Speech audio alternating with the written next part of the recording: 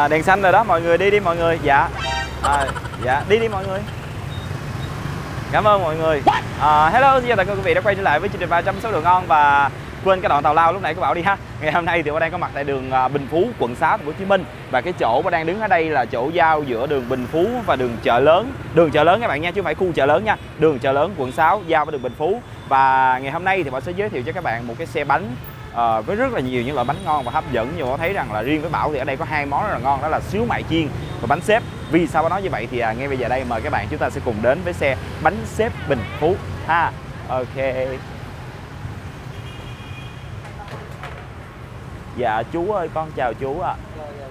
Dạ, ngày hôm nay thì con giới thiệu cho khán giả về những cái món bánh ở đây của mình. À, Ở đây thì con thích nhất đó là xíu mại chiên với là bánh xếp. Hai cái món đó mình bán được bao nhiêu lâu rồi chú? Sáu bảy năm rồi 6 7 năm rồi. Hồi trước là ngoài xíu mại chiên cái bánh xếp thì còn có mấy loại bánh khác nữa đúng không chú? kia bánh ngọt Dạ. đậu dừa thơm cá vé Dạ, bánh mỗi, mỗi thứ là cái này dừa À là ngoài cái bánh xếp mặn ra thì ở đây có bánh xếp ngọt nữa. Đúng rồi. À ăn bánh xếp mặn rồi nhưng mà chưa bao giờ ăn bánh xếp ngọt ở đây. Bữa nay thì mới biết rằng ở đây có rất là nhiều bánh loại bánh xếp ngọt với Cà nhiều loại nhân khác nhau. nè. đậu xanh cũng hết rồi thơm hết Ca vé hết, đậu xanh hết, thơm hết. Mình bán từ mấy giờ mà giờ này là hết rồi? Hai giờ mấy ba giờ? 2 giờ mấy 3 giờ? Tại chiều. làm ít à. À làm ít hết không? thôi. Tưởng đâu nói 2 giờ mấy 3 giờ mà Không bây giờ đây. người ta để dựa lên làm ngày cứ món nè Dạ. cái thôi. Ở đây thì à, chú sẽ làm mọi thứ một ít một ít một ít. Nên là bạn nào mà muốn ăn mà đầy đủ nhất thì nên tranh thủ đến vào khoảng à, 2 giờ. 2 giờ chiều chú bắt đầu bán đúng không ạ? Đó. ba Dạ. giờ ba giờ. 3 giờ. 3 giờ chiều 15 giờ đấy các bạn. Đến đây thì sẽ có đầy đủ. Như bảo bây giờ đây thì sẽ hết một vài loại bánh xếp ngọt rồi còn bây giờ thì chắc có lẽ là con sẽ mua một vài cái à, xíu mại chiên và bánh xếp mặn một ít bánh xếp ngọt. Ở đây mình còn nhân gì vậy chú? Còn môn với à, dừa. Môn với dừa Hai cái đậu ờ, xanh. hai cái đậu xanh. Ờ, À, thôi tại vì đang giảm cân nên là chắc là bảo gọi ba cái môn dừa đậu xanh thôi với lại một cái bánh xếp mặn và xíu mại chiên nữa. À, con cảm ơn chú rất là nhiều. Giá đây thì mình dao động từ bao nhiêu tới bao nhiêu chứ quên hỏi giá. Xí mại với bánh xếp lớn thì uh, 12 ngàn dạ. Đồng giá còn môn đậu dừa 5 ngàn. Môn đậu dừa bánh xếp ngọt là chỉ có 5 ngàn thôi. Còn mấy cái thì 7 ngàn. ca vé 7 ngàn. Còn ở đây có bánh bông lan trứng muối. 10 ngàn. Bông lan 10 ngàn. Ở trên này hồng gà 8 ngàn. Bánh hột gà 8 ngàn. Ở đây có rất là nhiều loại các bạn nha. Còn bây giờ thì chắc có lẽ là bạn sẽ gọi một vài cái và tìm một chỗ nào đó để thưởng thức như là bánh ở đây và giới thiệu cho các bạn. Ok này cô đang làm này vô đây cô làm. Vô đây hỏi thăm cô.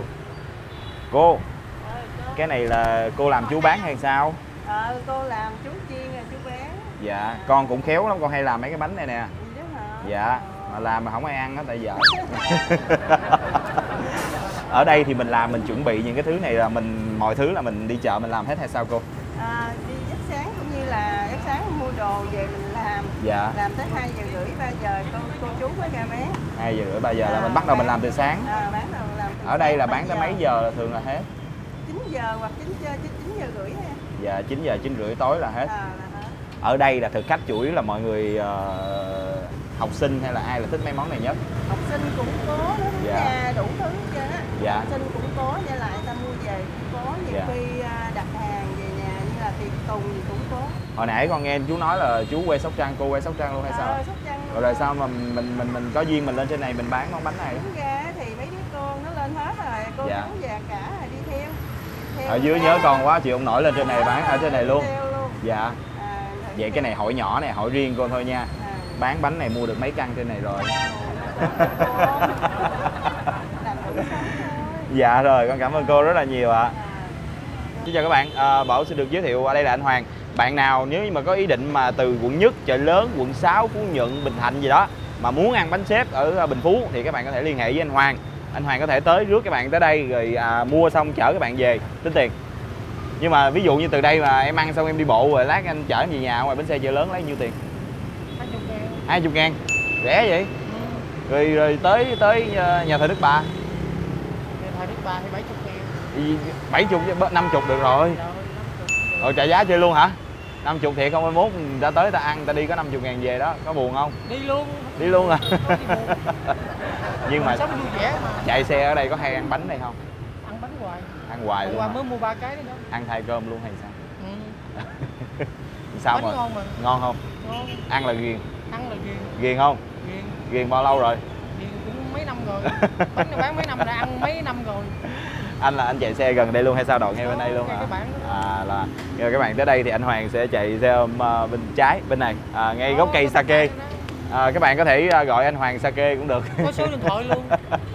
Anh có treo số điện thoại trên cây sake luôn các bạn nha. Bạn nào mà có đi bộ hay là cần xe ôm thì có thể ờ, liên hệ anh Hoàng. Giá rất phải chăng luôn không cần mình đặt xe ôm công nghệ mình đi xe ôm truyền thống vô tư. Nhiều khi ở đây đi còn người ta nói còn rẻ hơn xe ôm gấp mà. Dạ, đặc biệt là ảnh trả giá là đi hết các bạn nha. Nãy 70 nhà thờ Đức Bà chở 50 đi luôn. Rồi cảm ơn anh. Dạ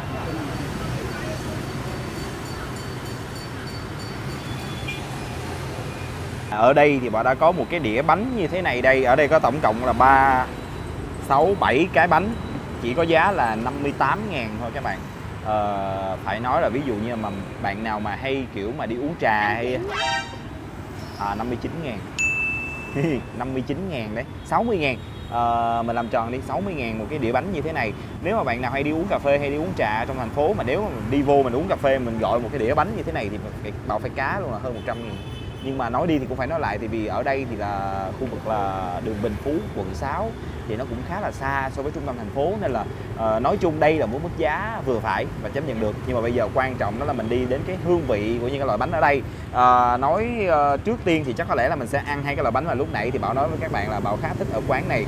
Đó là cái phần xíu mại chiên và đợi cái phần bánh xếp bánh xếp chiên hay là ở Sài Gòn thì những cái quán hủ tiếu hủ tiếu cá đấy thì người ta bán những cái chiếc bánh này người ta hay gọi là bánh pate xô ở trong này thì là bánh xếp còn ờ, ở phía ngoài Bắc thì mọi người hay gọi cái chiếc bánh này là bánh gối. Cái gối nằm đấy các bạn đây các bạn có thể nhìn này, giống như cái gối này, nghiêng xuống. Nhưng mà bây giờ thì mình ăn cái bánh này trước đi. Và thích cái bánh này hơn đó là cái phần xíu mại chiên. Đây nó có hình tròn như thế này bên ngoài thì ờ, được áo thêm một cái lớp bột ờ, xù ấy cảm giác cầm lên nhìn nó rất hấp dẫn về màu sắc nữa. Uhm. rất là ngon luôn á. Cái đầu tiên là cắn vô. Các bạn sẽ thấy cái phần lớp vỏ bên ngoài nó giòn. Cái phần nhân ở bên trong á, nếu mà bạn nào ăn hay ăn bánh bao chiên á, thì các bạn cũng sẽ cảm nhận được nó nó nó gần giống như thế này đó là cái phần ờ, thịt nè cái phần ờ, củ sắn. Củ sắn thịt ở trong này. Nó khá là nhiều. Ờ, nếu như một cái bánh bao chiên thì cái phần nhân nó sẽ không được nhiều như thế này. Và cũng như là cái phần bột nó dày hơn. Còn ở đây thì cái phần bột ở ngoài nó mỏng hơn cái bánh bao chiên. Nó giòn rụm luôn. Ở bên trong là cái phần nhân. Thịt rất là vừa và thơm.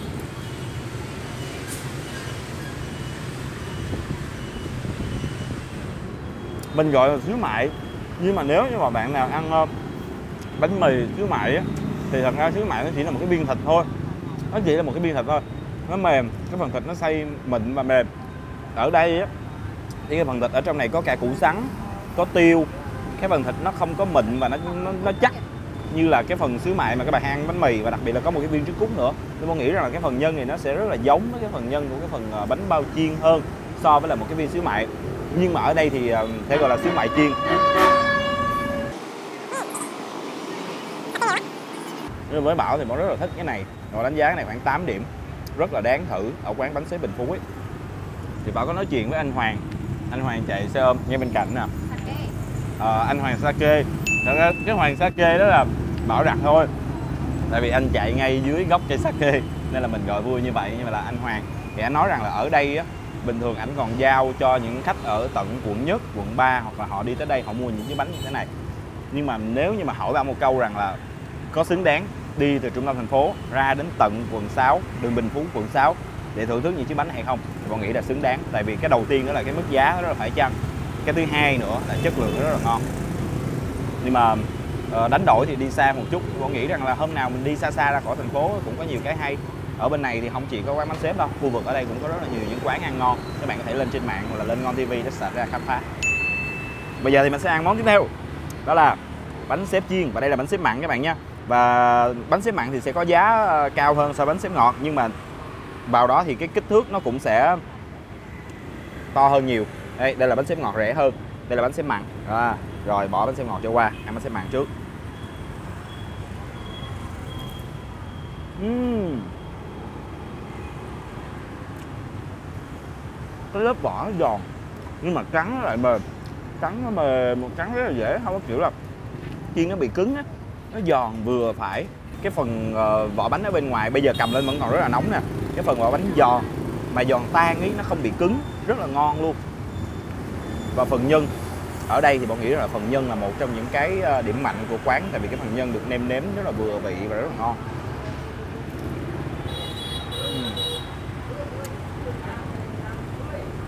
Cái phần nhân của bánh xếp chia nó mềm hơn mềm hơn so với cái phần xíu mại chiên lúc nãy và có thêm nấm mèo ở trong này nữa. Nhưng mà về cái gia vị nêm nếm thì nó giống nhau và có một cái trứng cút nữa nè. Đố các bạn thấy.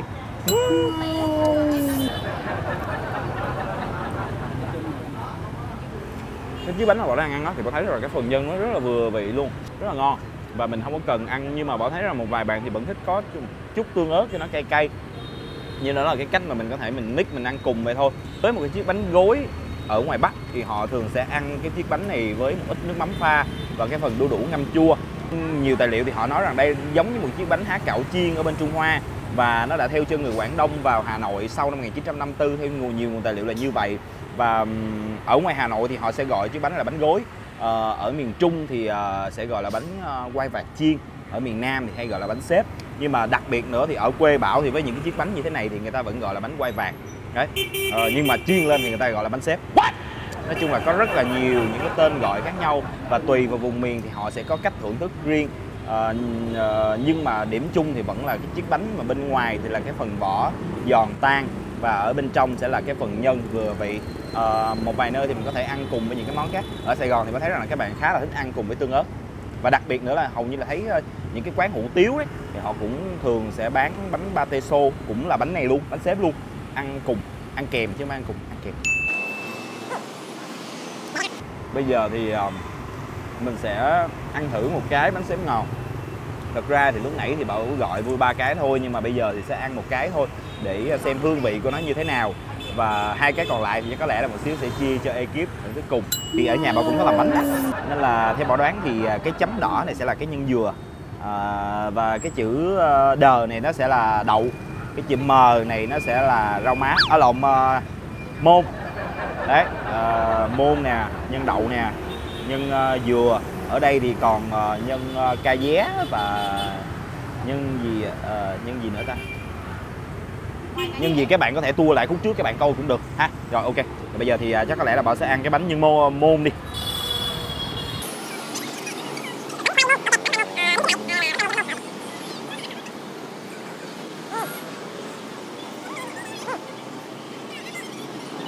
Cái phần nhân không có quá ngọt.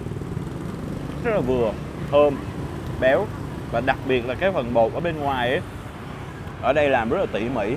Nó có rất là nhiều lớp luôn. Khi mà cho vào trong miệng thì nó sẽ um, hơi bể một xíu nhưng mà ngược lại thì nó sẽ không có bị cứng cái phần vỏ bánh. Cái vỏ bánh giòn xốp rất là ngon. Hồi nãy giờ thì bà đã giới thiệu cho các bạn về phần uh, xíu mại chiên bánh xếp chiên và cái phần bánh xếp ngọt ở đây. Ở đây thì còn hai chiếc bánh nữa đó là bánh ờ, bông lan trứng muối và bánh trứng gà. Cái này chắc lát đem về nhà chứ thật ra thì bây giờ không nổi nữa rồi. Cái này chắc lát đem về nhà chứ thật ra thì bây giờ không nổi nữa rồi.